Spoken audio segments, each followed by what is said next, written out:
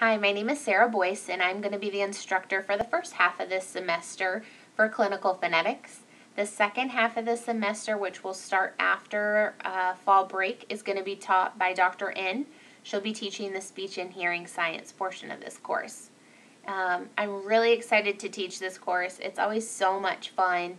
Uh, it's so applicable to clinical work. Um, I supervise graduate clinicians Monday through Thursday and uh, we use transcription work a lot, whether it's um, speech assessments or language samples or maybe uh, reassessing to see if we need to modify or discontinue a goal.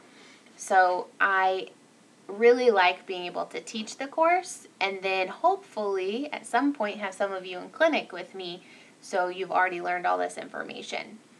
Um, it's a really fun course. I think um, it can be challenging, but please let me know when you have questions, if something's unclear. Um, I really want to be approachable for you guys and available. I do have students Monday through Thursday with me in clinic, so my office hours are Friday by appointment, um, but I'm also available on video chats throughout the semester if you can't make it to my office. Um, so that's an option as well.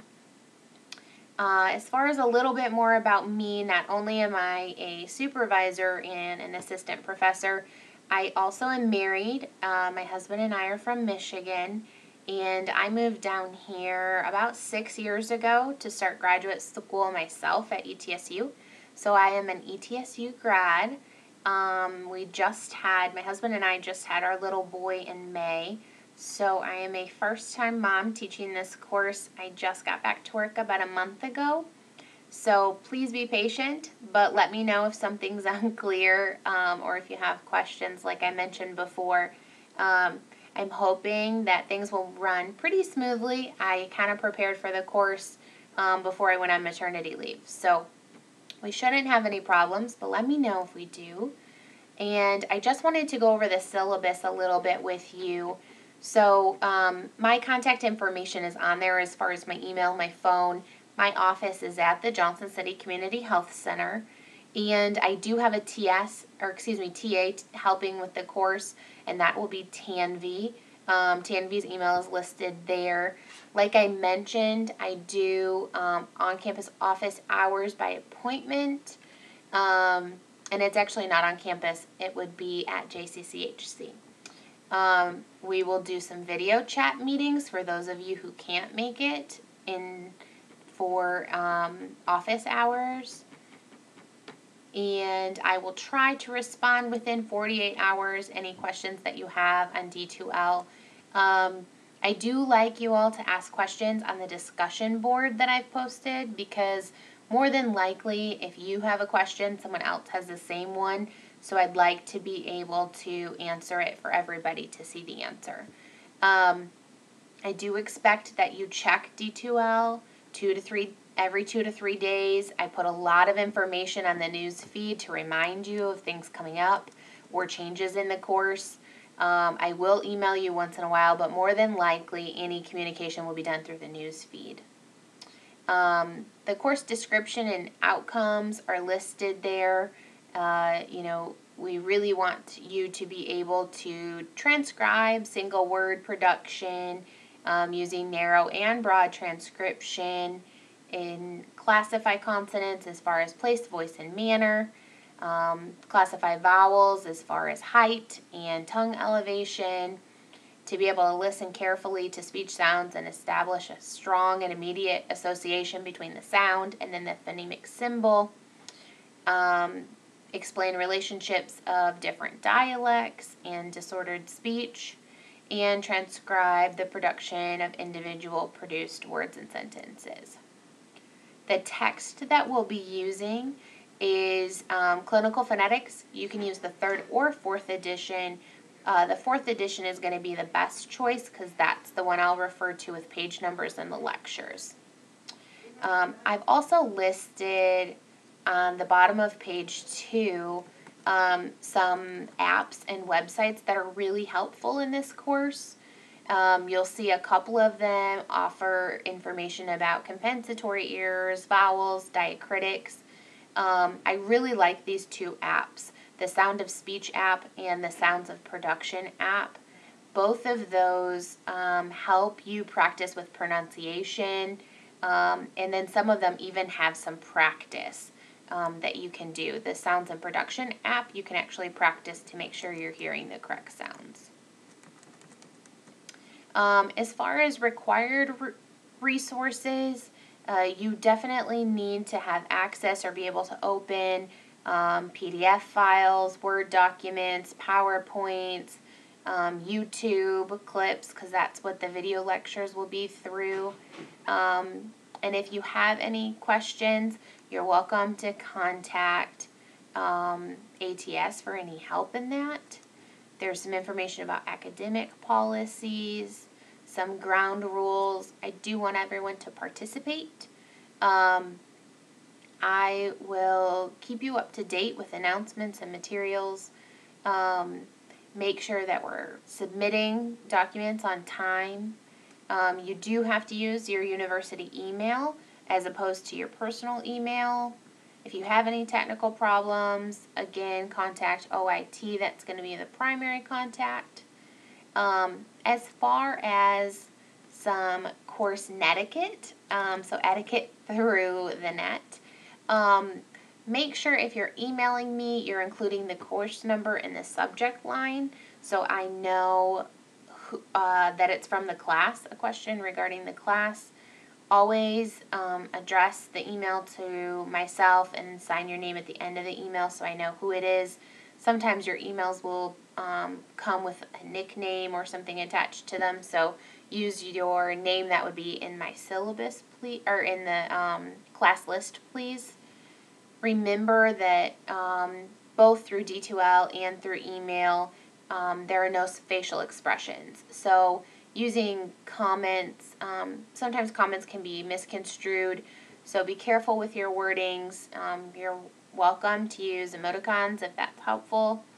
Um, let's see what else.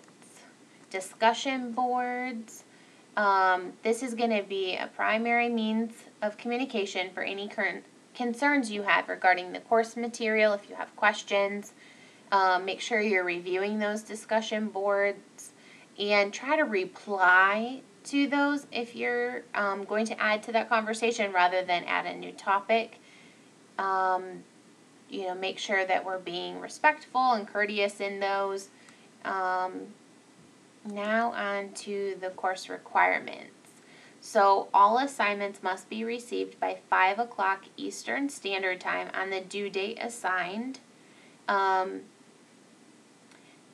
late assignments or quizzes are not going to be considered for grading, so they will not be accepted unless prearranged with myself. Um, all of them you'll have ample time to complete. I've really um, cut down the material for this course since last year. So if you have spoke with someone who's taken this course before, know that I've tweaked it, made it a little bit easier and more manageable for the time allotted. Um, and as far as the total number of points, it'll be 300 for this portion of the course. Um, so you'll have a grade from my portion and a grade from Dr. N's portion, and those will get averaged together for a final grade of the course. As far as course material that we will be for grading, you're going to have um, five quizzes. Each of them are 20 points apiece, and there will be weekly quizzes the first four weeks. The fifth week, uh, excuse me, the fifth quiz will take place during week six. All the quizzes are true, false, and multiple choice. Um, they will include transcription, terminology, anatomy, and some other important points in the lecture. So they will be taken from the PowerPoints as well as the video lectures. Quizzes will be assigned on Mondays and due by Wednesdays at 5 o'clock. Um, this week will be the only week there's an exception. So this first week, your practice quiz will be assigned today, Monday, the 24th. It'll be due tomorrow, the 25th. And then your quiz one will be assigned tomorrow, the 25th, and due the 26th. Um, so starting next week, week two, we'll begin quizzes are given on Monday and due on Friday. All quizzes are completed through D2L. Okay, after the quizzes, that's a total of 100 points. And then we have two transcription projects that are also worth 100 points. So the transcription project one, um, you're going to be transcribing a recorded uh, connected speech sample from a YouTube clip from a movie. I will provide that clip for you.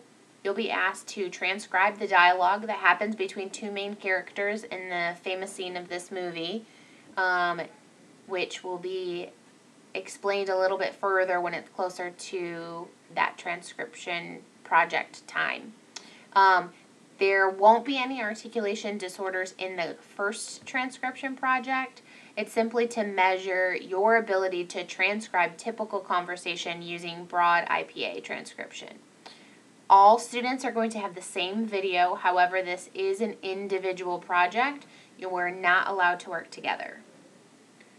All right, the second transcription project is going to be transcribing a connected speech sample from um, The Princess Bride. The clip does include articulation errors, and so that transcription project is going to measure your ability to transcribe disordered conversational speech using narrow IPA. You'll transcribe all the same you'll all transcribe the same video, but again, it's an individual project. And then lastly, you'll have the final exam that's worth another 100 points. This is going to be cumulative. Um, it'll be a combination of written material and transcription covering the lecture material and the chapters in the book.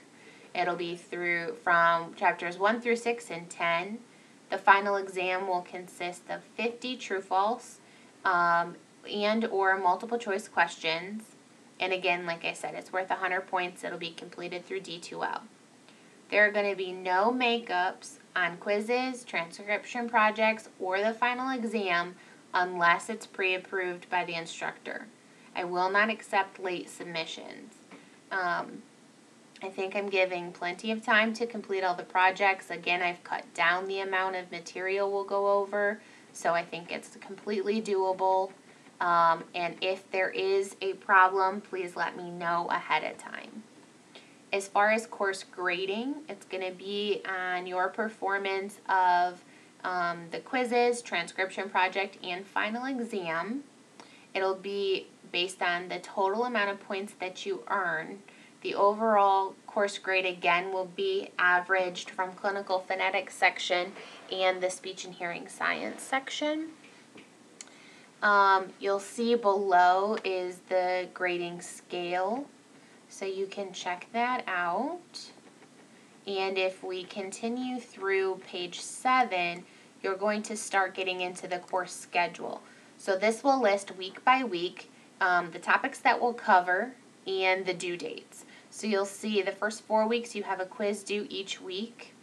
Uh, the fifth week we have the transcription project due. The sixth week we have our fifth quiz due. The seventh week we have transcription project 2 and then the final week will be exam.